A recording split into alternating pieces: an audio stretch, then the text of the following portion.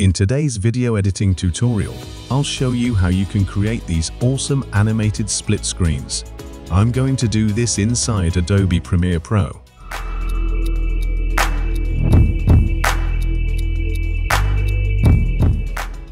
Start some editing inside Premiere.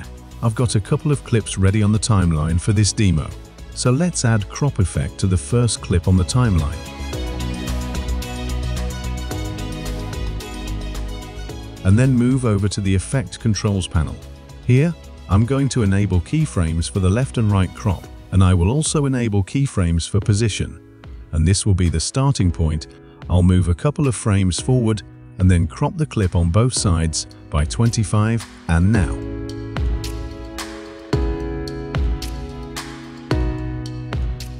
We can move all that is left of this clip to the right side of the frame. And by adding these keyframes, we've now created this animation.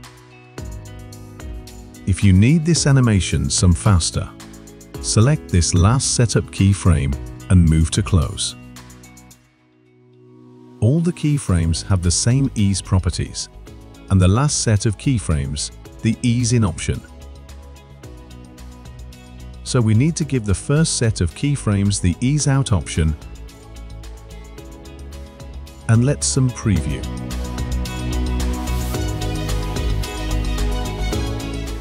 You can skip between the exact position of the keyframes by using these arrows here.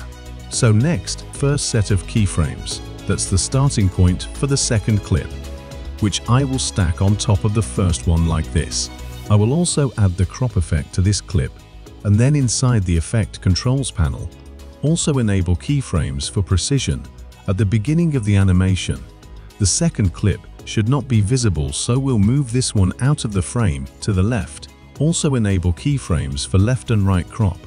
Next, I will select the first clip on the timeline and then skip forward to the point of the second set of keyframes. Then go back to the second clip and then use this timestamp to add some keyframes and then crop this at 25 on both sides. So now I can. Place this clip on the left side of the frame and also add some space between the two clips. But the preview is not smooth yet, so apply ease in and ease out to the keyframes to make your transition looks more smooth and let's some preview.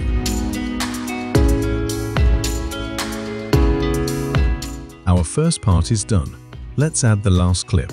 First add another keyframe, then drag out these two footages from the screen. Then drag the last above of these two clips. Add a keyframe to the position. Now drag out the last clip above on the screen. Move forward to the next frame and apply ease in and ease out to the keyframe to make it smooth. Let's see the final preview we have done. If do you have any question, ask me in the comment section. I'll see you in the next one.